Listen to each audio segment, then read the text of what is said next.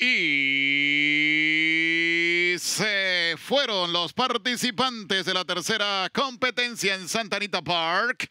Retrasa Kane Creek Road, se ha quedado en la última posición, viene por dentro, Please Focus a buscar la punta en la parte de afuera. Se está colocando Give Me the Loot, más afuera está movilizándose el ejemplar Pro Five, entre ellos está Barrington The Ball, más atrás lo está haciendo Iris Royalty y se queda en la última ubicación Kane Creek Road.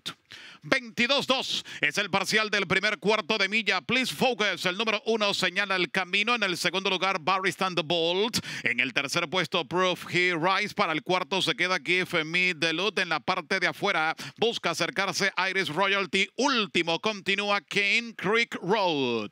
La lucha es fuerte por la primera posición. Hasta tres están luchando por el primer puesto en 45 exactos para la media milla cuando ingresan a la recta decisiva. Proof He Rifle, el 7. Viene a buscar la punta. Se queda en el segundo. Please Focus para el tercero por dentro. Se ha colado Give Me the Loot y por la parte de afuera trata de acercarse Kane Creek Road. El 2. Give Me the Loot ha tomado ventaja. Insiste por fuera Proof He Rise. Se vienen para un final de categoría por dentro. Sostuvo ventaja el número 2. Give Me the Loot. El segundo lugar es para Proof He Rise.